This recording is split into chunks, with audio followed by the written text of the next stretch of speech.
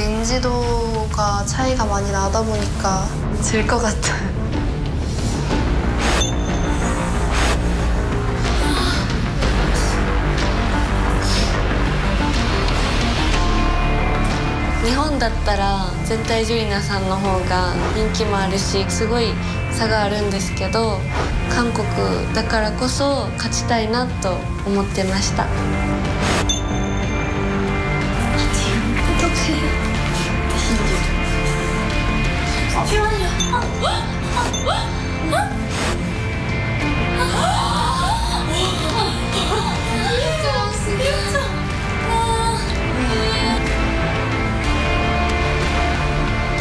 가은이 언니는 데뷔도 했고 또 센터도 했었기 때문에 쏟아질 것 같았어요.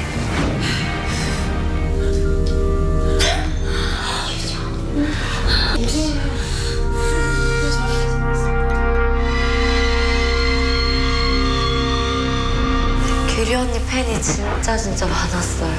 플랜카드가 엄청 많아가지고 아 그냥 나는 졌다 망했다 이 생각이 제일 많이 든 것 같아요.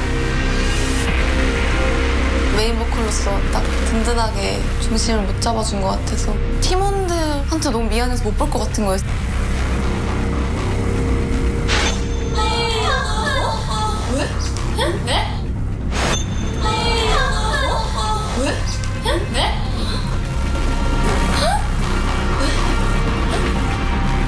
이게 진짜 맞는 뒷표신가 좀 의아했었어요.